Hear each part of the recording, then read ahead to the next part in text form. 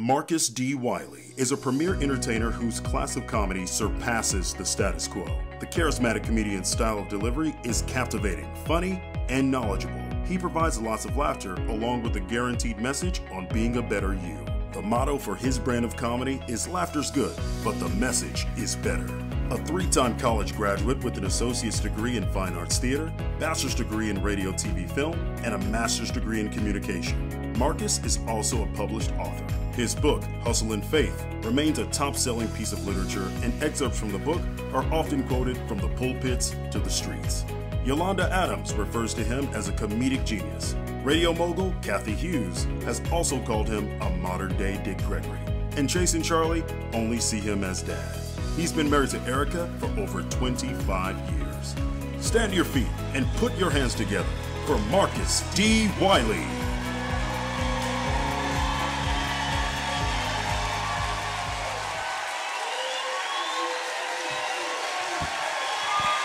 Thank you. Oh, yeah. Come on. Sit down. Sit down before I cry. Sit down before I cry. Sit down. Sit down before I cry. Thank you. What's up? What's up? I tell you what, it's cool when I do shows in DC and Atlanta, but ain't nothing like doing shows in H-Town, the home team. Yes, sir. What is up? Oh, it's good to see everybody. I know you're looking at me wondering about this hair. It's uh this pandemic hair. Uh I don't go to the barber shop no more. Yeah, my barber, he, he good, but he smoke a lot of weed. And uh I tell him do me one thing, he do something else, so I just I'm skipping it all. I'm looking like your children now. Yeah, that's how they look. You know, them kids, they don't do no hair. Yeah, but thank you so much. I, I, I got so much to talk about tonight, and so uh, appreciate everybody coming now, but let's jump into it. In 2020, in 2020, uh, my calendar for comedy was looking good in 2020. Uh, it was fantastic looking. I, I was already spending money I ain't got yet. Uh, just looking at all the bookings I had in 2020. Then all of a sudden, we get hit by this virus. Uh, it started off, it was called coronavirus. Then it went to COVID. Then it went to COVID 19. Then it went to Delta, Sigma, Theta, Iota, Alpha, Omega, Kappa, Omicron, monkeypox. I mean, so many different variants. Uh, at first, when it, when it hit, I wasn't tripping. We was in a pandemic. I wasn't tripping because I had some money saved for a rainy day.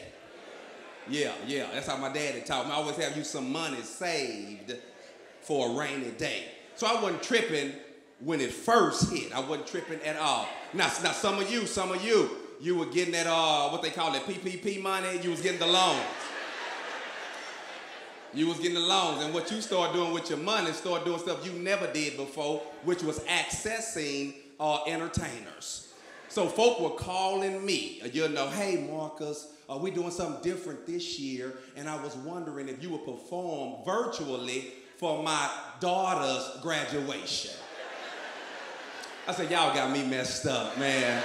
I don't know if you know, but I'm Marcus D. Wiley. Yeah, uh, my career's pretty good. Uh, I'm not performing for your little girl. Uh, yeah, call some other musty comedian. Uh, not me. Yeah, folk were calling me, I mean, just hitting me. Hey, man, my mama retiring. We want you to perform virtually, you know, for my mama's retirement party. I'm like, come on, y'all. I, I hate to throw out my credentials, but uh, if you didn't know, you know, uh, I was on the Yolanda Adams Morning Show, the first gospel syndicated show ever made. Uh, I'm not doing your mama's retirement party. Yeah, yeah. I mean, at first, I mean, I was on it. I was on it. But I, I said all them no's, you know, in the beginning. But then around July,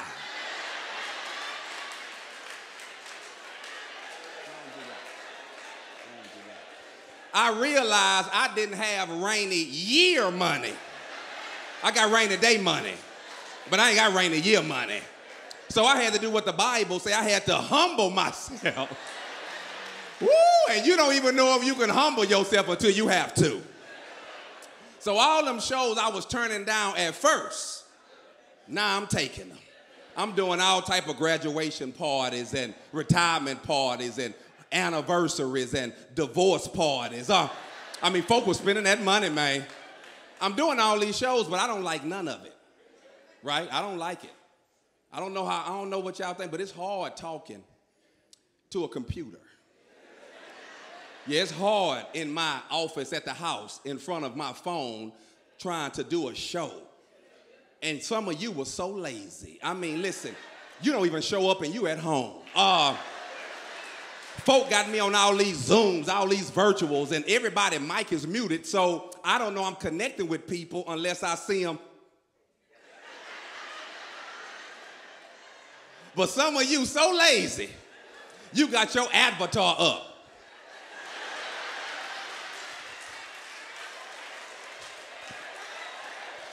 Won't even show up at the crib. I'm not liking myself at this particular point. I'm not liking the direction it's going for me. And so I'm there and out the blue, man, a good friend of mine called. His name is Ali Siddiq, right here from H-Town, comedian. Yeah. Ali Siddiq calls me and say, hey, Mark, listen, we're in a pandemic and I know the churches are closed. Talking about y'all, yeah. He said, I know the churches are closed. He said, but these clubs, they wide open. Yeah. Yeah, the churches are, we're in a pandemic now. Our folk are nervous, they, they scared, they, they don't know what to do. And the place of refuge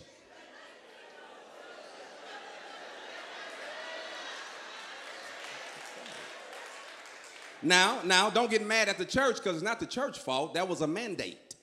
But I'm just sharing you, sharing with you that the clubs are open and the churches are closed. So Ali says, hey, I can't pay you like them churches. That's tough. Uh, but he caught me in a humble position right now. So he said, but I can put some money in your pocket, you know, till times get better.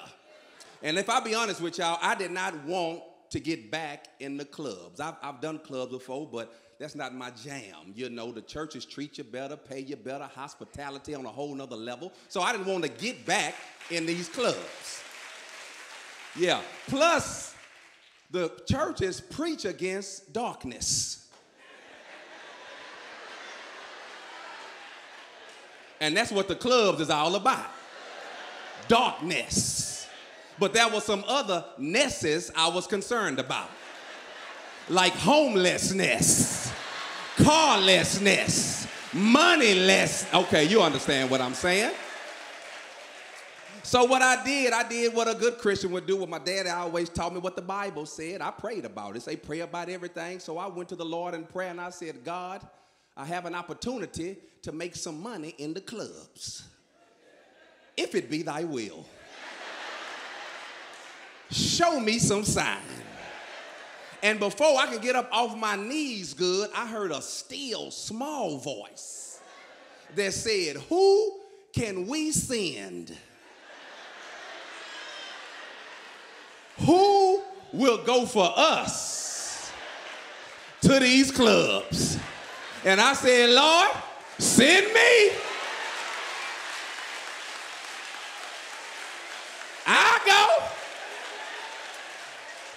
And so for about two and a half years, I have been performing in these clubs. If you see the club residue dripping, leaking up off me, it's because I've been in them. Now I'm looking at some of you, especially those of you with masks on, you, you got judgment in your eyes. Yeah, you got judgment in your eyes, but I want to let you know that I represented us well in the club. Yeah, I represented us well. That's why he sent me. That's why he ain't seen you. He know what you were gonna do.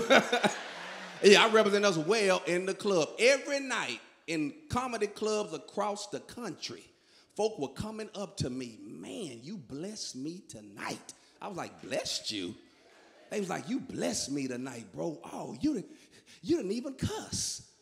You don't cuss? And I was like, I know how. Uh, yeah, I ain't gonna lie, I know how. Yeah, I know how. Oh, I got kids. And, and And every now and then you gotta tell it like it is. Uh, yeah, I got kids. Yeah, yeah. Every night they coming up to me, man, you was funny, bro. I appreciate what you did. Let me buy you a drink. Do you drink? And I was, again, uh, God, dog, ah. You know, because I'm a good Christian. And good Christians don't drink in public. It is. Oh, no.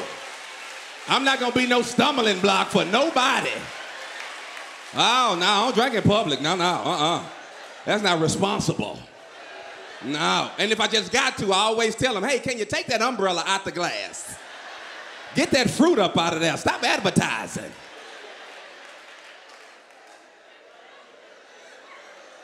Folk coming up to me every night in that club. Bro, you spoke so well up there. Are you a pastor? And I was telling him, no, I ain't, I ain't no pastor. I mean, my dad was one, and my grandfather and my great grandfather, they was pastors. But I broke the generational curse. I told my son, you welcome. You ain't got to worry about it. I broke every chain on that one. Don't know why people think just because you may know a little word and, and you know you speak well that you're a pastor. Man, I, listen, it's reasons why I can't pastor. No, it is. It's, it's reasons why I can't pastor. Yeah, let me share them with you. First reason why I can't pastor, watch this. Until they allow cussing in here, I'm not gonna be able to do it. See, some of you like that'll never happen. Well, I thought women would never preach. It's happening. I thought women would never wear pants in church. Look at all y'all. Ain't nobody got a dress on in here.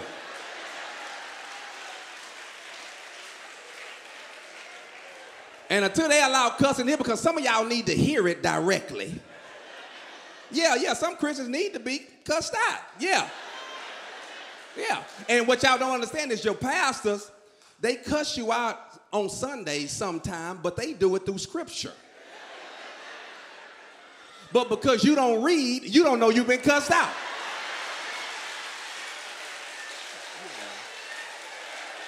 Over your head.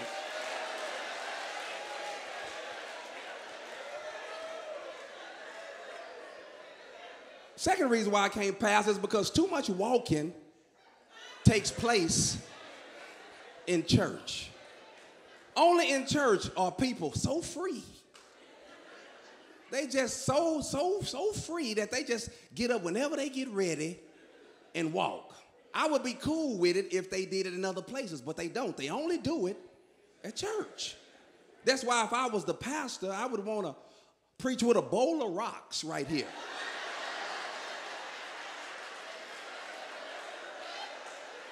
I dare you get up while I'm up here. Now go on, get up. Either you or these rocks gonna cry out. Go on, get up. Third reason why I can't pastor is because I can't keep your secrets.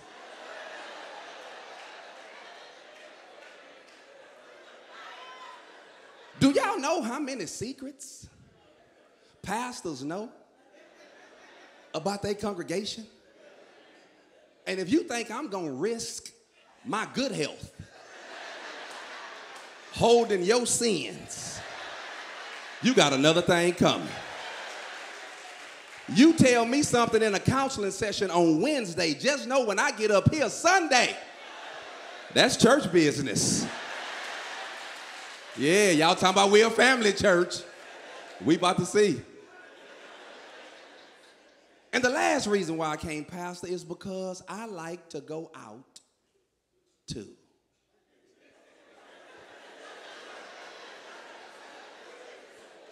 Yeah, I said I like to go out too. And a lot of you, if you see your pastor out, that vex your spirit. Ooh, passed over there. Ooh. Ooh, what he doing here? Ooh.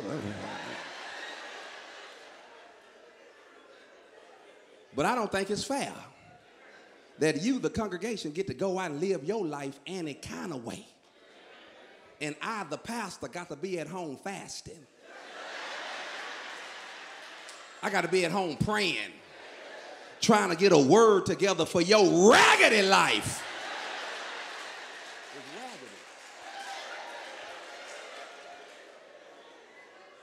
That's why if I was your pastor, you'll be downtown kicking it. You'll look up, Pastor, praise the Lord, everybody.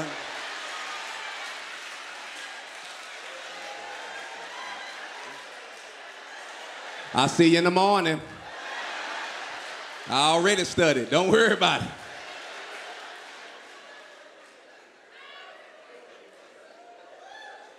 But we're in this pandemic. I'm performing on the weekends in these clubs. However, I'm looking on this thing called social media. And I'm seeing people on social media who look like they winning in the pandemic. I feel like I'm losing. But I see people that's winning. Let me make it more personal. I see other comedians, and this is gonna sound bad, I'm sorry, who I know ain't good.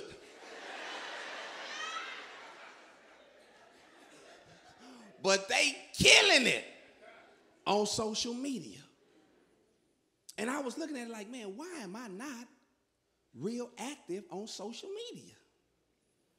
And I found out during the pandemic why I'm not. First of all, I'm not all active like that because social media came out after I was grown.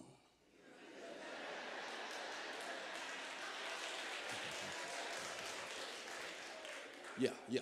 You should have learned something about yourself. Listen, it came out after I was grown. Do y'all know only thing I wanted to be in life was grown? oh, oh, you ain't get it. Listen, this is all I ever wanted to be. Other people have big dreams. No, no, no. I want to be grown because my mama made grown sound like the thing to be.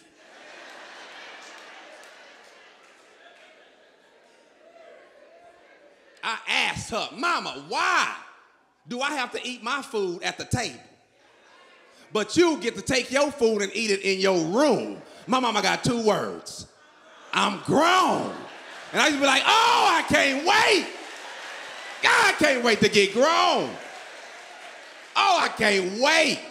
When I graduated from high school and went to college, the guidance counselor asked me, What do you want to major in? I said, Grown. Where's that at? Because that's what I want to be. I want to be grown. And when I got to college, college gave me a false sense of being grown. It gave me a little ski taste of being grown. Man, when I got to the Texas Southern University, yeah, when I got to TSU, when I tell y'all that was a party every night. Listen, somebody was throwing some, some frat party, some sorority party, some gathering, some kickback, some get together every night. And because I was feeling grown, I made it my business to be at every event. I didn't leave the dormitory till midnight. Yeah, I know some of you don't judge me. It was riotous living at this time.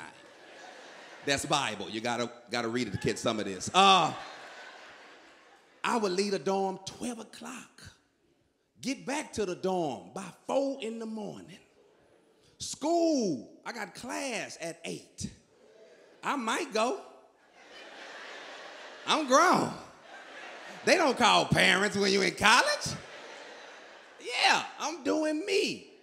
But then the summer came and I had to move back with Pharaoh now.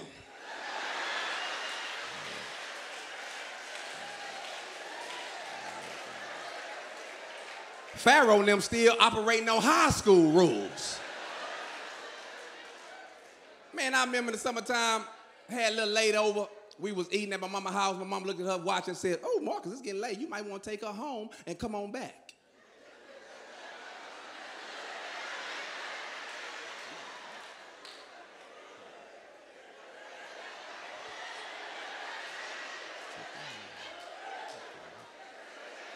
That's a lot of gas. I don't. yeah, my gas ain't set up like that. Uh, but I tell, I, I, I tell, I tell mom. I said, "No, my mama, I'm a, you know, I'm a stay, you know, cause at school, you know, what I'm saying I stay." Mom said, "Well, you're not in school. You here. So what you gonna do? You gonna take her home and you gonna bring your black? Now she cuss. I'm not gonna lie. I, I don't know what how, how your first lady do it, but the first lady I grew up with, she said a few things. Uh,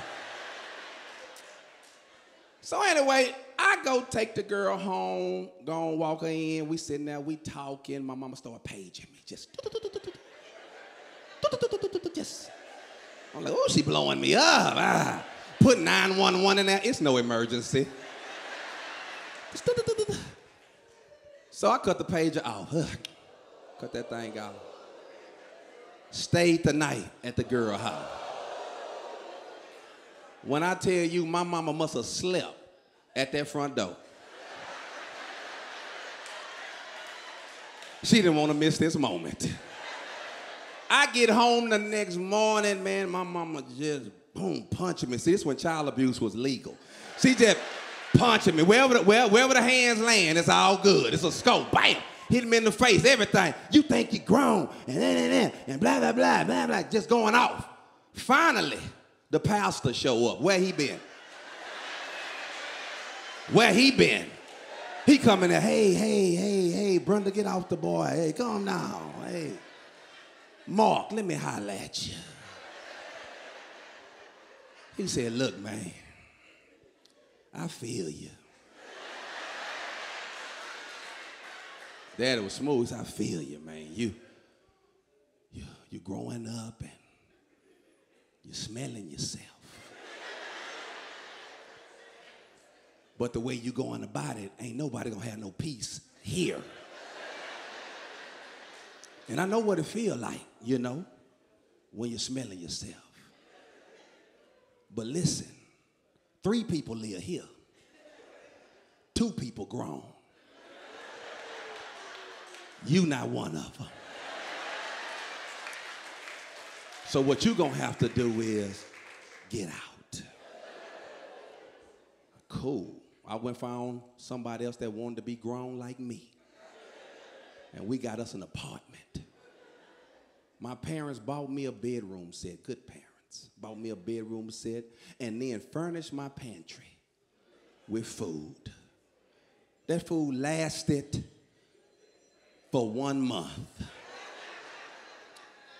After, after that one month, after that one month, when that food ran out, I started going to the grocery stores. And I had no idea. Groceries cost this much. I'm used to a certain creature comfort at my mama house. I'm used to, you know, name brand stuff. You know, Bounty paper towels, Charmin toilet tissue, Orville Redenbacher popcorn, Tabasco sauce. I mean, you know, just stuff I'm just used to seeing. Never knew the cost of it. So now I said, okay, what I got to do now, I wait for my mama to go to work and my daddy to go to church. And then I would go to the house and shop in their pantry. That lasted for about a month. And then one day I went over there, true story, with that same girl. We coming over there, yeah, they ain't here. I put that key in that door.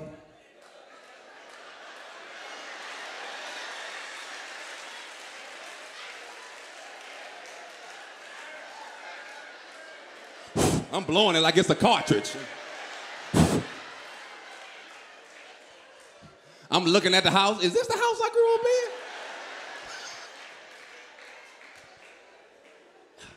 I go to the neighbors. I call my mama. She at work. I could tell by the tone in her voice. She been waiting for this call. I called my mama, Mama. She, yes. Did y'all change the locks? Yes. Why? She say, cause you a thief. And it was either change the locks or call the laws. Now you want to be grown, go be grown. Tell everybody that was the day I grew up. Social media came out when I felt like I was already who I wanted to be in life. Yeah, it did. Plus, I was turned off because somebody had posted me on social media and I messed up by reading them comments. Man, I'm reading them. Started off strong. Oh, he's he's hilarious. Oh, this guy's brilliant. Oh, he's been in my church several times. We love him. I read all the way down back to the 20th comment. And some mean person said, man, this dude corny than a blank blank. I'm cool with being corny. It's the blank blank that got me though. Oh, a blank, he made it personal. Whoever this is, they made it personal. And I'm from an Arab, you ain't got nothing good to say. So the fact he said something, mean they want that smoke. So I was asking people, hey, hey, find this, find this person. I'm trying to see who this is. Because I ain't know how to use it.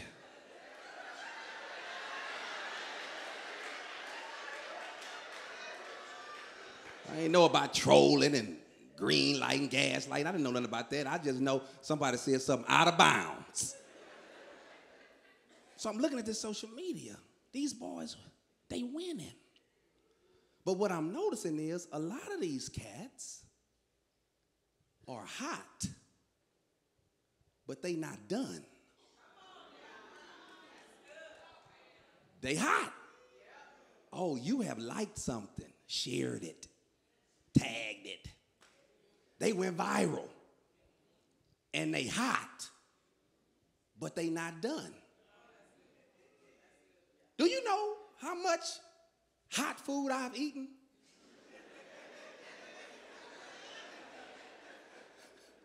that wasn't done. I married young.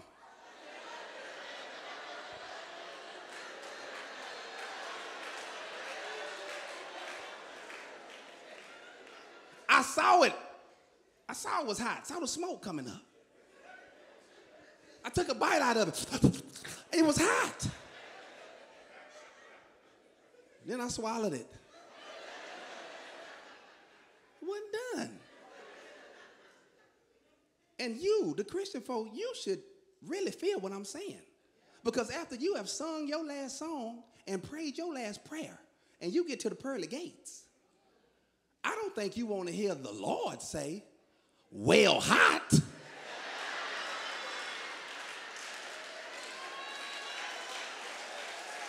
Do you?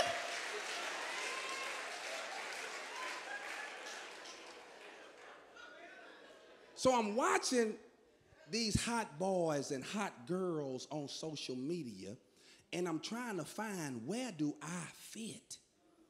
Because I've been grown so long, you know, the definition for me for grown is when you're not influenced by pop culture. But now we're in a culture of so many influencers. Matter of fact, that's what they call themselves. I'm an influencer. So I'm trying to see where do I fit in? Because you grown when you're not influenced. Okay, okay, let me make it better for you. I have an uncle, his name is Terry. Uncle Terry, my Uncle Terry. Listen, in the 80s, my Uncle Terry was a pimp slash gangster. Pimp slash gangster. Okay, Uncle Terry silk shirts. Okay, Uncle Terry got all type of herringbones around his ropes around his neck. Uncle Terry got nugget rings on about seven of his ten fingers. Uncle Terry got a Jheri curl. Listen to me, it's a California curl. That's where it look wet, but it's dry. Listen, Uncle Terry is a pimp slash gangster. That was in the 80s. If you run into my Uncle Terry tomorrow, Uncle Terry got a curl. Look wet, but it's dry. I don't even know who's still giving curls. Uncle Terry still got ropes and nugget rings and Turkish links and herring bones. He came over to the house for Thanksgiving. I, I smelled him. I said, man, Uncle Terry, what you got on? That boy said, obsession. I said, I said, you still wear that? He said, they still sell it.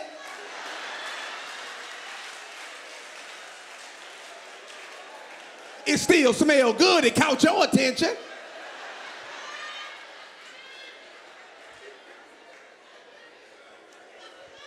So I'm trying to navigate my space in this world because I, I love the fact that Uncle Terry is like he is. But how do I be Uncle Terry without being Uncle Terry? Yeah. So I'm on this social media, I'm trying to find my way, and my wife, she's telling me, babe, you gotta get on it. And my wife, you gotta get on it. Marcus, you gotta get on it. She think we about to lose our house. You got to get on it. You, you gotta get on it. She worrying me. I'm getting, are we about to lose out? Um, you got to get on it. So I started doing this thing called Hell No Ministries. Hell No Ministries. I was doing this every Monday. I didn't want to do it, but started doing it. And I ain't going to even lie. My church started growing.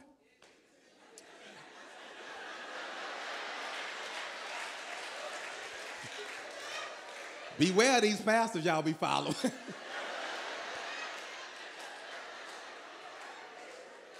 My numbers was growing on, on IG Live and Facebook Live.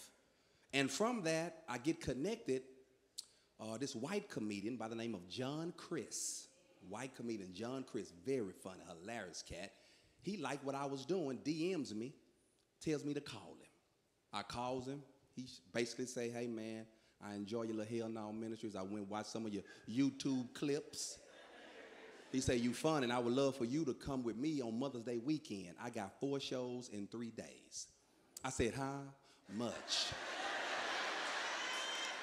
yeah, I ain't gonna lie. I, I be wanting that money. And he said, He put a number out there, and I was like, I'm there. the first show was in some small rural area in Indiana. Listen to me. It is all Nobody in there black but me. No workers black. I'm the only black person there. And when I got up on that stage, I told them folks, I said, hey, y'all do know this is a comedy show and not an auction.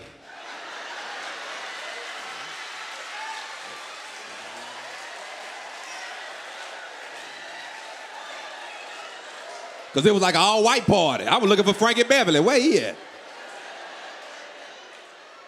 Yeah.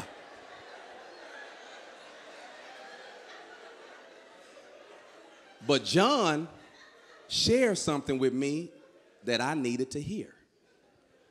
Me connecting with him when he about the show, it was about what he's getting ready to tell me. He said, Hey man, you do that hell no ministry, but you need to do it more. I said, John, I don't even want to do it when I do it. He said, You need to do it more because social media is like your girlfriend. And right now, you talk to your girlfriend once a week. Other people talking to your girlfriend two, three times a day. Who do you think your girlfriend is going to eventually start listening to? I said, Well, I hope my girlfriend's smart. he said, She ain't.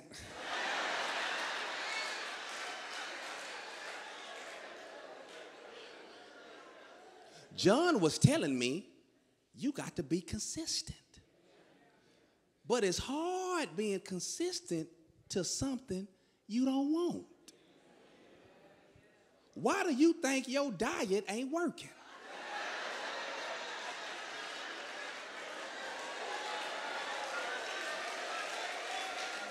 You don't want to, you don't want to eat this salad. when that brisket smelling the way it's smelling? Why you think your workout ain't working out?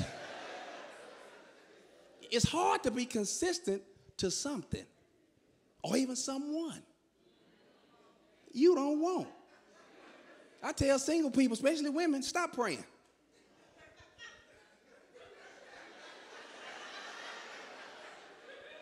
I do. If he ain't consistent,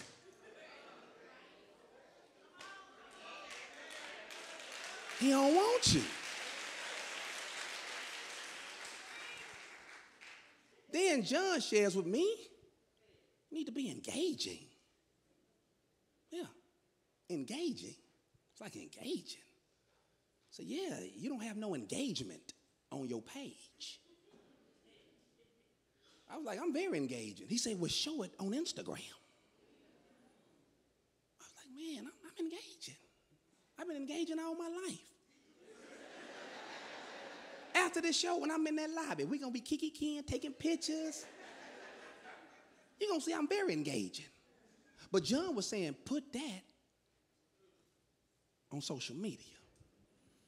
And y'all, I ain't gonna lie, I, it's hard for me, man, because I just come from an era where we had a thing called my business.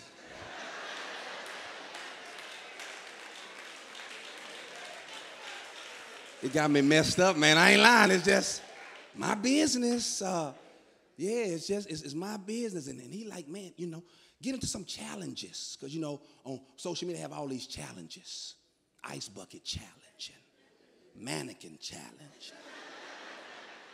so gone. I mean, just all these challenges they have. And I was like, man, I'm challenged already.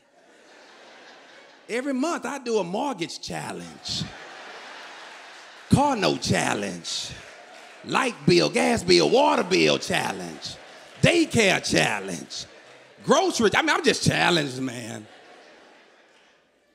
Yeah. He tell me, he said, man, you gotta be engaging. Right? Start showing what you be doing. And I was like, I don't want to do that. Man, I remember when New Edition, New Edition was on a tour, right? This uh, past year, they was on there uh, for the culture tour, something like that. And and my wife, that's how this our favorite group. My wife's like, babe, they come be in Houston this date. We check the calendar, I'm booked. She, oh, we can't go nowhere. So because I'm what they call a decent husband, I went and looked at New Edition schedule. Picked the date. Wow, I didn't have a show. Bought the tickets. I'm talking about up here tickets. Flew us first class. Put us in the five star hotel. I'm just trying to tell you, I'm, I'm out here. Yeah, I'm trying to do something after the show.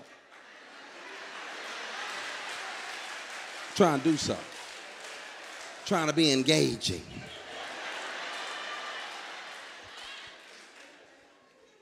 We're there, and this is a great show. I'm talking about everybody there Ronnie, Bobby, Ricky, Mike, Ralph, and Johnny. It's, you know, it's rare all of them show up. And we just there, telephone we just having a good time. I look up, my wife is recording the concert for all these people who did not pay. That didn't sit well with me. Because I done spent all this money for you. I'm trying to have praise and worship with you. They tell you be engaging. When George Floyd got murdered during the pandemic, my little follower was, was hitting me saying, Marcus, what do you have to say about this?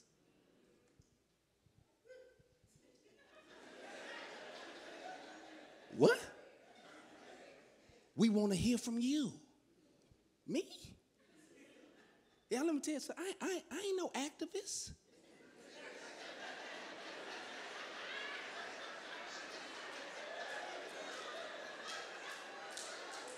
And I'm as black as they come. I went to all black elementary, all black middle school, all black high school, went to a HBCU, worked for the two blackest companies in America, BET and Radio One. I'm blacked out.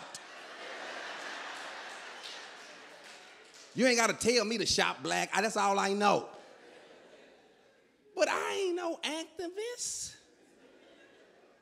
I don't know what's going on, for we need to hear, so I never said nothing. I got a, I got a rental property in Third Ward. And I, I rent out to a rapper. This rapper always on the gram. He got the money to his ear. Yeah, yeah. We out here. This rapper done put a stripper pole in my townhouse. My pastor prayed over this house. I won't say that first.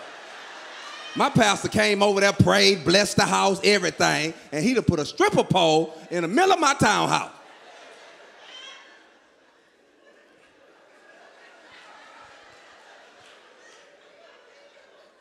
When George Floyd died, they had to march downtown. He down there on IG Live. This for you, Floyd. Gone but not forgotten. We with you. And he four months behind on rent.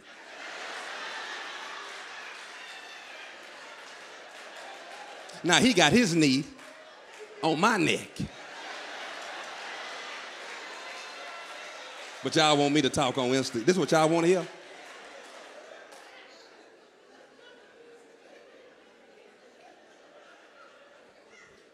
There are so many gray areas with the social media. It's so many of them. I ain't got time to even go through them, but let me tell you what I, what I learned about these gray areas of social media. My wife watched this show called The Voice. She watched the show called The Voice. I don't watch it, but because we sleep in the same bed, I see what she see. we watching The Voice, and I learned something. On the voice, there are four judges with their backs turned to the talent. The reason why their backs are turned to the talent is because they don't want to be fooled by how pretty she is. They don't want to be swayed by how handsome he is. They don't want to be tricked by how well they dress or fooled by how their personality is. All they listening for is the voice. Can you sing? Do you have talent? And they don't even pay attention to you until they know you got talent. But with social media, our chairs already turned around. We don't even know what's good no more. Because everything coming at you. You, just, you, you, you got so much, you follow everybody. You follow everybody. You ain't know what's good no more. Do you know there are some people on social media, rich and famous, and not even good? They rich and famous, not even good. You know how I know? Because over the pandemic, it happened for me. Over the pandemic, I get a DM from a young lady. The DM reads, Hey, Marcus, big fan of your comedy. I was wondering if you can counsel me and my fiance. I hit her back, hey.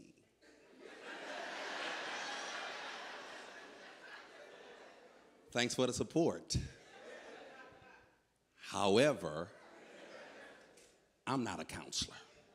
And because I'm a Christian, I ended it with a good tag Be blessed. yeah, I knew you would like that. Yeah. She DMs me a second time. Hey, I listened to you on the radio. I really love how you talk about your relationship with your wife. And I think me and my fiance can benefit from your wisdom and your knowledge. I hit her back. Hey, Thanks for listening. However, I'm not a counselor. stay encouraged. Come on, man. You, stop using the same things, man. You should be growing in God now.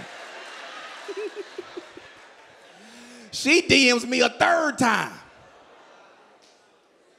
But when she DMs me this time, I knew it was nobody but the Lord by what she said. The lady says, I'll pay you.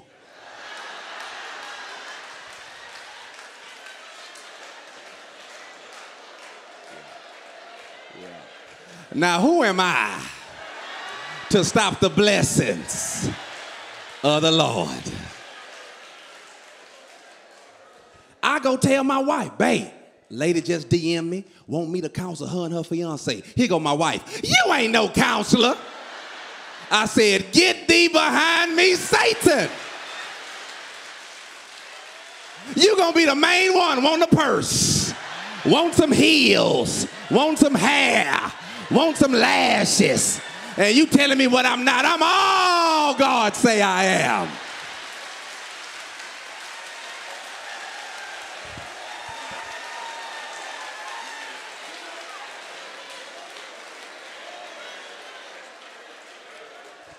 I had to get her straight. Then I told her, come watch your man work. We on the Zoom with the couple. The lady come on, hey, Marcus, thank you so much for taking this, you know. we just been going through, every time I think we getting close, seem like we far away. We've been engaged now for seven years.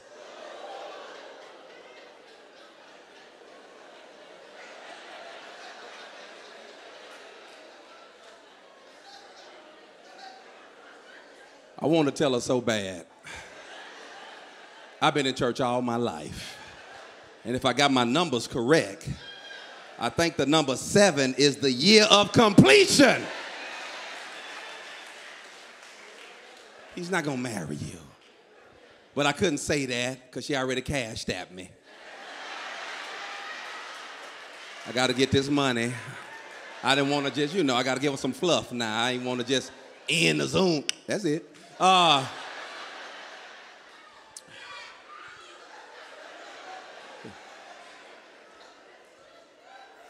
she goes on talking. True story, y'all. She starts crying. When she starts crying, this is when I realize I'm not qualified.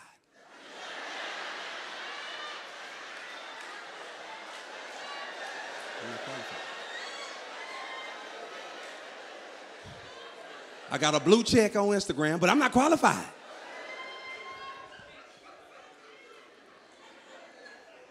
I'm not qualified.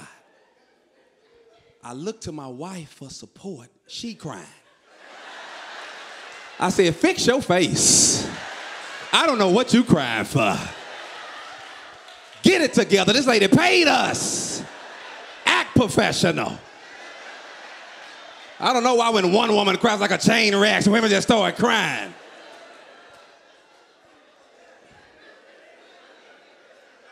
I'm drowning right now in my first counseling session. And finally, the lady says something I can clamp on to. She say, Marcus, I just want my relationship to look something like yours.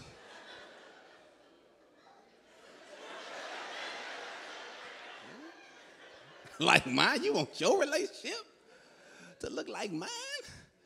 First of all, when I'm on that radio, I be lying.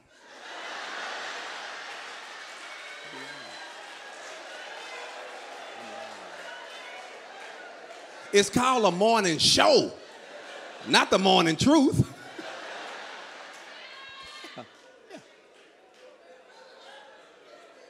And then I told her, you want what year 25 look like. I bet you don't want five through seven.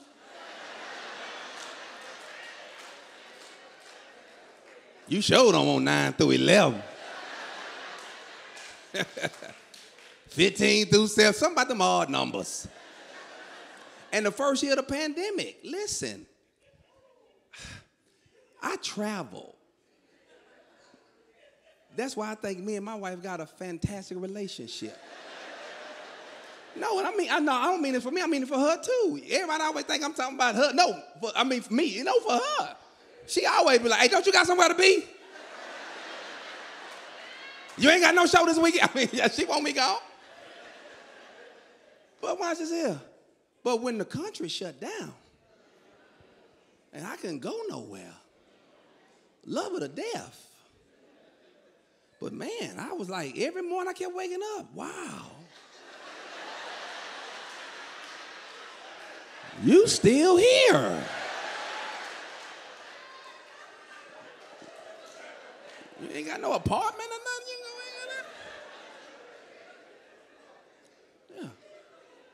But then I tell the lady, I tell the sister, I say, listen, man, this is what I had to learn. You know, if you ever get married, man, this, this is what I've learned, you know. I say, man, stop thinking something always wrong with your relationship. So what y'all argue? Join the club.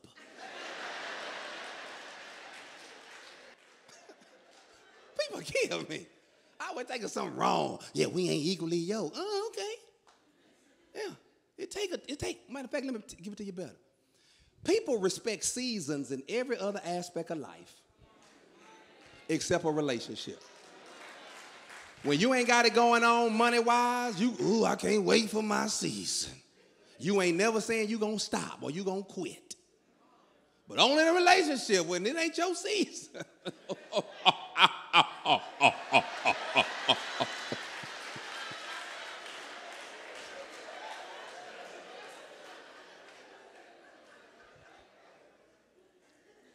Told I said, Man, you better stop looking at all this advertisement. Yeah. It's a major downfall in relationships looking at other folk. Just because they coming up in here and this recording looking all together. Taco Bell food look good advertised.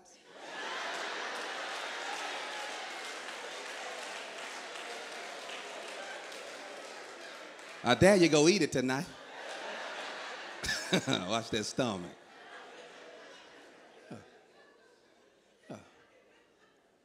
So I told her, I said, listen, man, I had to learn to say when I see stuff that I liked.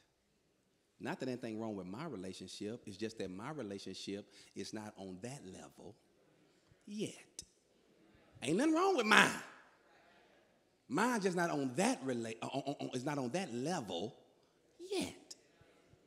I mean, I'm reminded when I worked on staff at this church, I had been married three years. My coworker was married 30 years.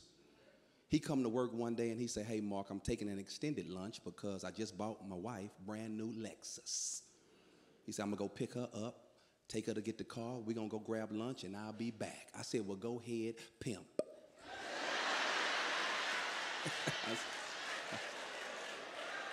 Do your thing. When he got back, I was so excited. I was like, ah, how did it go? He said, man, she loved the car. Just all on me in the dealership, hugging, me, kissing me. He telling me the story. Why he telling me the phone ring, this all I hear. I wrecked the car. He said, what? The car, baby. I'm so sorry. He said, Hey, hey, calm down, calm down. Are you all right? I don't know what happened. I didn't see the other car. He said, Hey, hey, calm down. Are you all right? I don't know if the car told him, baby. I'm so sorry. He said, Hey, I don't care nothing about that car. Are you all right? I said, Wow.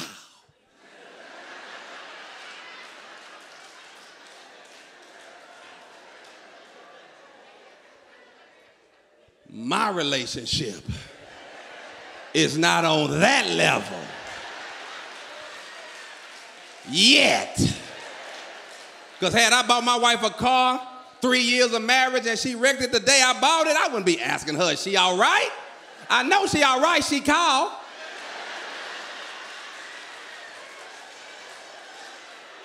I've been saying, put the car on the phone. Let me talk to the Lexus. Is you all right?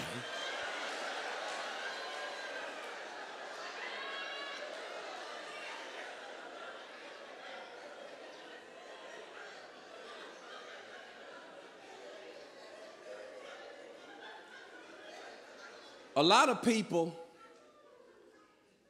relationships did not survive the pandemic. A lot of folk. There was a divorce epidemic at my barber shop. Everybody in now, when we returned, was like, It is what it is. and those folk now look to me like I am, you know, the ambassador of this. Something I don't want to be. And I, I don't want to be, I, don't put me in, because anytime you think you got it together, you know, all them people y'all follow, relationship goals, and you like they couple. Ooh, this is my couple, my favorite couple. And uh. as soon as they write a book, out of there. But watch this. But they still ask me. So they come to me and they say, Marcus, brother, how you doing it? How, how, how you how you maintain it?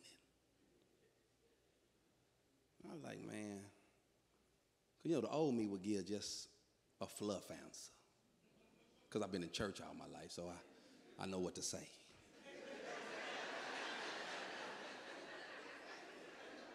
Brother, much prayer.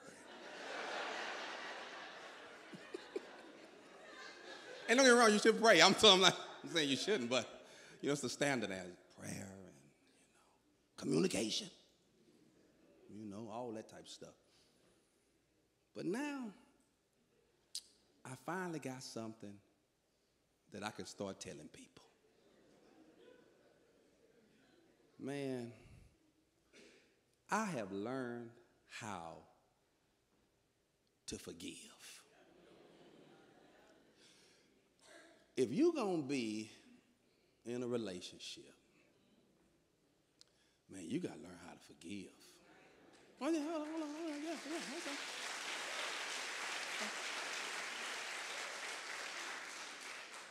And it's strange how folk who need forgiveness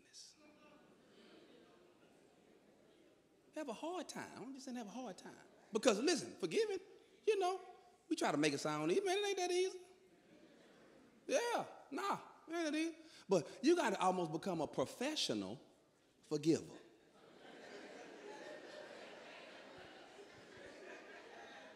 a professional forgiver. Man, I was on this, um, I was reading the Bible one day, and I ran across this scripture. This is another thing I used to, you know, just kind of not lie about, but I make up make it up as I go. Like folk, like no, because folk would be like, "Hey, what's your favorite scripture?" And I really never had one, but because I knew a bunch of them, I would just throw throw them out however I feel, you know. I get it. Hey, Moses, what's your favorite scripture? Oh, great is He that is within me. And they'd be like, oh, that's a good one, Doc. Mark, what's your favorite scripture? Jesus will. I like that. I like that. but now I have a favorite scripture. I'm reading the Bible. I don't know what book it's in. Google it. but it says, watch this here, that God is married to the backslider. Messed me up. Listen, God is married to the backslider. Reason why it messed me up was because I really looked at the phrase and wondered why did he use marriage with his relationship with us? I mean, why didn't it say God is play cousin to the backslider? Why didn't it say God is co worker to the backslider? But it say God is married, which means he hooks up with us, knowing he got to forgive forever.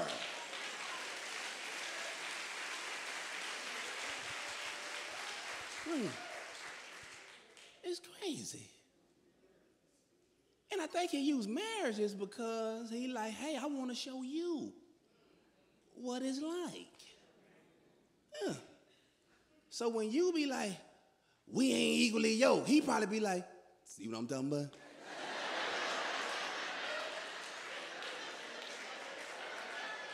she always lying. You like, I know. I know, I feel you.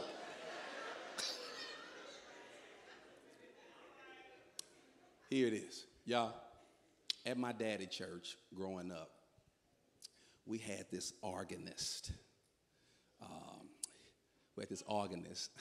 He was, he was, he was the organist and the director because my dad only had one check. yeah. Yeah, see, a lot of people get checks now. No, no, no. He had the.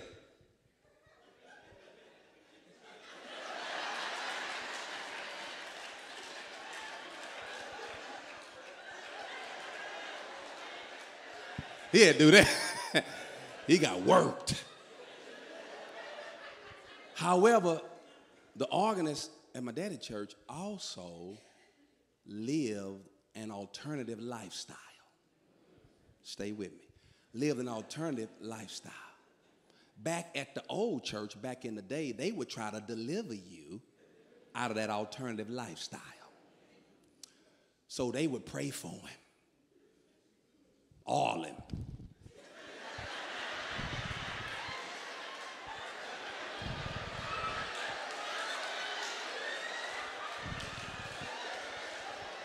They were trying to get him to no avail.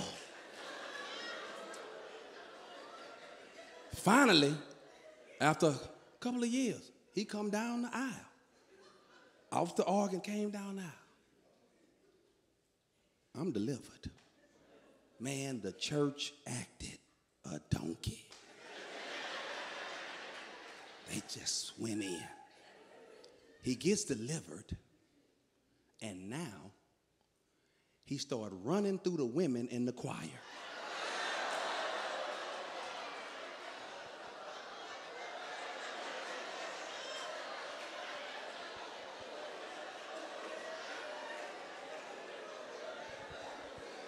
Women was coming up to my daddy, Pastor, do something. He out of control. And that's why I love my dad. And my dad was like, ah, oh, one miracle at a time. oh, he got some catching up to do. we ain't gonna bother God.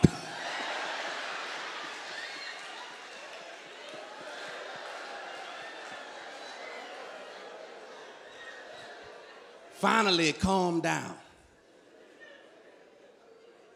He got serious about one of them. And he asked this one to marry him. And she said, yes. Other women went up to her.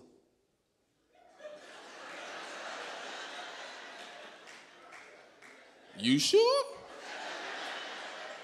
Which I get. She just, they just want to make sure she was coming into this relationship with her eyes.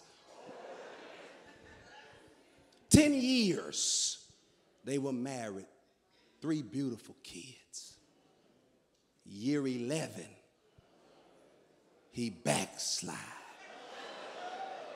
in the alternative life. Man, when I tell y'all, folk were mad. And I was thinking, should they be mad? Yeah. When I tell y'all, folk was disappointed. And I was thinking, should they be disappointed? Yeah. Man, folk were shocked.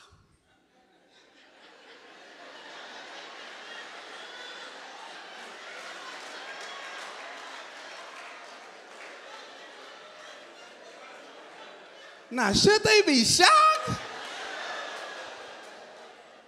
And I'm just so happy that I am in a relationship with a God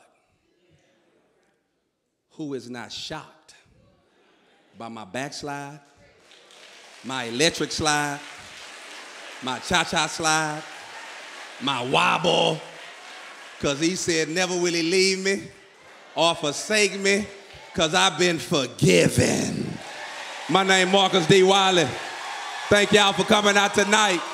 I appreciate it. Dr. Dre, New Faith, thank y'all. Apostle, Lady Parent, my people. Thank y'all, man. Appreciate y'all.